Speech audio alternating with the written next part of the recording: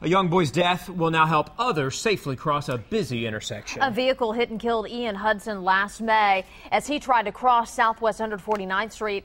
And since his death, friends and neighbors have been trying to get a traffic light installed.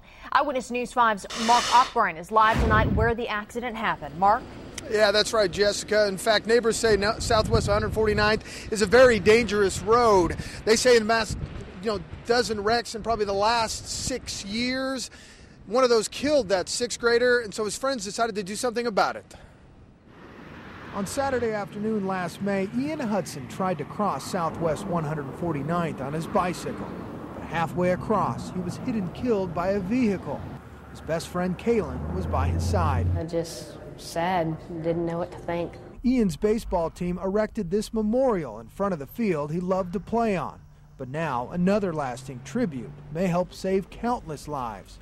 Staff is recommending the installation of a traffic signal at this intersection. Today, the Traffic Commission unanimously approved a plan to install a traffic light at the intersection Ian's friends and his elementary school principal say they've waited four months for this day. Very happy day for you and the oh, students. Oh, oh, a, a thrilling, thrilling day for us, yes. Residents living near the intersection say they hope a traffic light will keep their children a little safer on their walk to school. Uh, after the accident last year, it'll be a great relief. Ian's friends say, well, the light wasn't there in time to save his life, they say it will be there to save countless others. He knew a lot of people and he was really popular, so everybody that sees that, it'll remind them of him.